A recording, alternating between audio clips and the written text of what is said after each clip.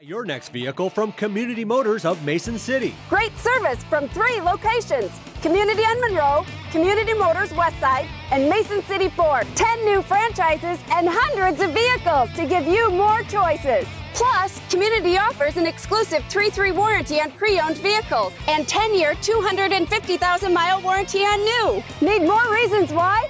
Stop or visit CommunityAutoGroup.com. Because nobody beats a community deal. 3 0 since you went to Clemmons. I think he's got 21 assists, only two turnovers.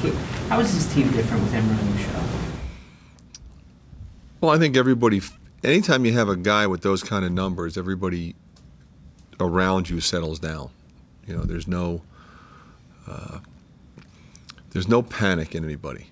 Now, now we've got to, now we've got to do it in a neutral site. Eventually, we're going to have to do it on the road. That's different, you know. But uh, good news is we've we've got experience now, you know, in those positions. I think we'll be fine. Iowa State, uh, good three-point shooting team, good rebounding team. You're able to neutralize those for the win. Uh, UNI, different style of play, but similar type of results. Good three-point shooting team and, and yeah, you know, I think that's true, Scott. I mean, UNI has got a lot of weapons, and and those are the kinds of teams that, that give you trouble when you're trying to scheme to how, how you're going to defend them. They spread you out. Uh, their bigs can shoot threes. Their guards shoot threes. Uh, they're they're substantially more athletic than I think anybody ever gives them credit for. Uh, I I never really understood that, but I mean they've got guys that can go by you at every position. Uh, you know they're going to be physical defensively, and uh, and they're big and strong. They've got depth. I mean they've got upperclassmen. They've got guys that have been around. So uh, you know it's a team that that will challenge us in a lot of ways. You look at this Big Four Classic, Brandon, maybe going back to your Siena, day, Siena days where it's it's a great opportunity for Northern Iowa and Drake to make a mark against a BCS school. Uh, you know, I, I don't look at it that way. I look at it, you know, we got another good team on our schedule, and we're going to try to beat them. I mean, that's really the only way I look at it. Uh, it's a team that, without a doubt, in my view, will be one of the top two or three teams in that league. I mean, it's probably, you know, I don't know that I have a great history of that conference, but when you think about where they are at the top, there haven't been too many years where there have been that many really good teams with, you know, uh, obviously Creighton, Wichita State, Northern Iowa, Illinois State. I mean, they got some really good teams in that league with big time players. And so I just look at it as an opportunity to play another team that, that I consider to be one of the premier teams on our schedule. Over the past couple of years, Northern Iowa has kind of carried the banner for the state. They beat Kansas, got to the Sweet 16. Do you find your program is kind of chasing them still a little bit, trying to get to where they kind of? Uh, no, you know, you know, I think the thing about about this is, you know, that happened a while ago, you know, and that's that's why we have a new season. Uh, you know, and I don't, you know, they didn't go to the Sweet 16 last year. You know, we don't know who's going to the Sweet 16 this year. We'll have to figure that out. Being a, a Philly guy and obviously having an affection for the Big Five, is this is this a way to keep these in-state rivalries alive without having to have that home and home with a mid-major, which is kind of disadvantageous? You know, I, I think that's a that's a very legitimate question, but I do think, you know, it's a different era.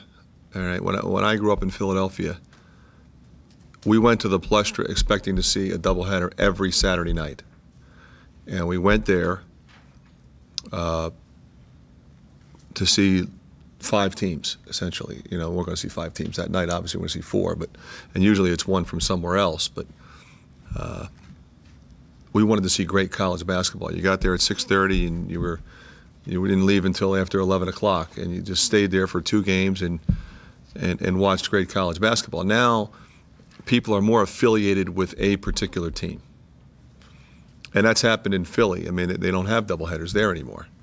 You know, Villanova fans got to the point where they didn't want to watch Temple. You know, when I grew up, I, you know, I, I I didn't have an affiliation. I didn't go to either school, and that's the way a lot of college basketball fans were there. So I think if you look at a college basketball fan in this state, he can go Saturday and watch four really good teams play. and really enjoy, for a relatively inexpensive ticket, have a great day of college basketball. That said, you know, there's going to be some Hawkeye fans that come for our game and leave, and some Iowa State fans that come later, and same for Drake in Northern Iowa.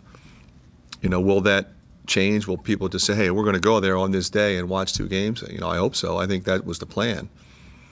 But you know, you never know. I mean, we, we live in a world that, you know, people just don't go to college basketball games now planning to stay there for five hours. They just don't run their lives that way anymore. And so we'll see. We'll see how it goes. I guess could you talk about how uh, Adams seems to have kind of found his offensive groove these last couple of games and really seems to be having success? Well, yeah, I think for him the key is stay out of foul trouble, which he's done. Uh, we're going to him a lot more. He's really playing with a lot of confidence, making his free throws. I mean, he's going either way. Uh, but I think it's a function of we're making a concerted effort to find him, and he's playing more minutes. I think that, that that's really been a big thing for him. The more minutes he gets, the more comfortable he's going to be. Talk about the spacing that I has on offense. Uh, they shoot the ball from the perimeter, sometimes deep from the perimeter, and then they're how much did that elevate your guys' game? Uh, it's helped a lot. Um, we basically battle at it every day. Um, you know, he's he's a great defender, and it's helped my game personally. Just going against someone like that every day in practice, and you know, we we learn we learn stuff from each other's games, and you know, I think we complement each other very well. Talk about playing UNI at Wells Fargo there on Saturday. I mean, they're a team that's had a lot of success in recent years. Oh, it's going to be a lot of fun. Um, the the fans should be great. Um, the atmosphere will be be fantastic. Um, UNI is a very good basketball team. Um, they're they're a dangerous team in the ways that they, they shoot very well, and so you can't let them get too hot. And you know they they're also always a very disciplined team. So we got to come out there and you know stick to our game plan and play the way that we know we can. You've probably faced some of the UNI guys. Saturday, Wells Fargo, neutral court, lots of fans. What do you think of the setup? Uh, what do you think of UNI? Um, UNI is a good team. They always have been, uh, especially in the past few years. I mean, they're they're solid. Um, they play a really good, good solid game, and uh, I can't wait to go out to Wells Fargo because it's it's a great great stadium, great atmosphere with uh, two in-state teams, hour and a half away. It's it's going to be a, a good one.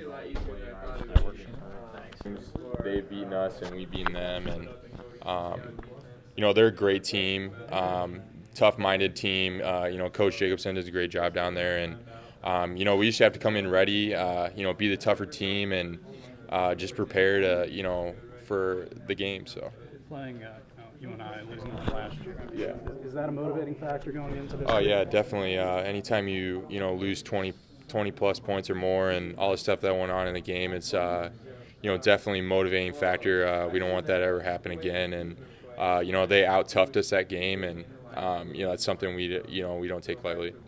This year, what, makes UNI tick this season? Uh, you know they they have a lot of great players uh, that come in off the bench. Um, Thank you.